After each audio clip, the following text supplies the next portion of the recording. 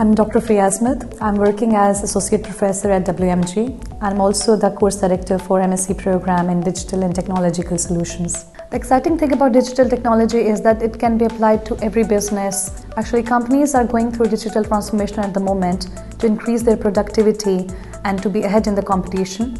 At this point in time, if an apprentice knows about digital technology, I think they've got a bright future ahead.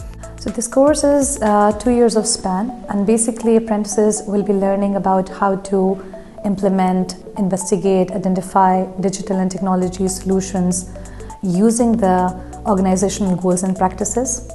They will be actually implementing digital technology solutions by understanding the organization's strategy and maintaining the digital strategy through technology leadership. In the current era, the need for IT roles is increasing.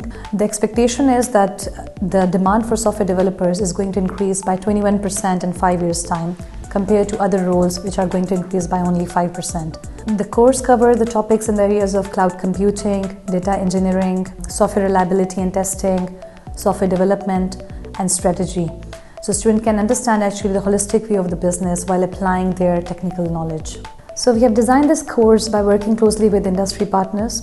We have mapped our modules to the apprenticeship standard. In addition to that, we have aligned our course with British Computer Society benchmark so that we are aiming that we can apply for accreditation once our first cohort graduates. So the roles uh, apprentices will be picking up could be as software experience lead, analyst programmer, solution developer, or they could be senior software developer.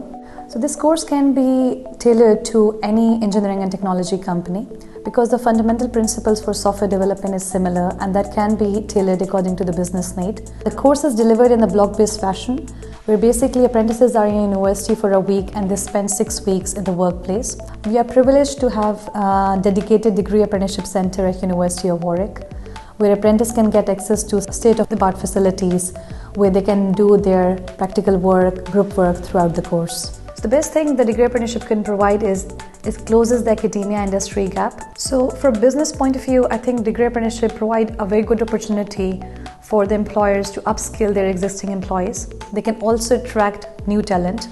From a learner point of view, learner can get paid education, they can get work experience, and they can actually get a chance to apply their knowledge in the workplace at the same time.